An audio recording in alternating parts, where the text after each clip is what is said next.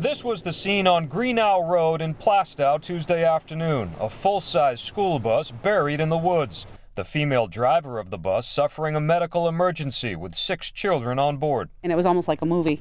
It was it was so surreal. She just hit the guardrail and she went airborne into the woods. Gina Lynch and Stephanie Geary were on their way to pick up their kids at about 3:45 when the bus crossed the center lane, just missing their cars. I saw the bus driver come into my lane. Uh, I had to move. Um, I, as she passed me, I kind of saw her slumped over. Both women, along with another man on the scene, rushed to help. We didn't know what we were going to see. We were scared to what we were going to see, but we were there. The children crying, but for the most part uninjured. It did take some coaxing to get them off the bus, though. We didn't know if the bus was going to tip over, blow up, so we were just trying to get them as quick as we could just off the bus. Witnesses speculate the bus was traveling upwards of 50 miles per hour at the time of impact. The driver was removed from the bus by rescue personnel and taken to the hospital in stable condition.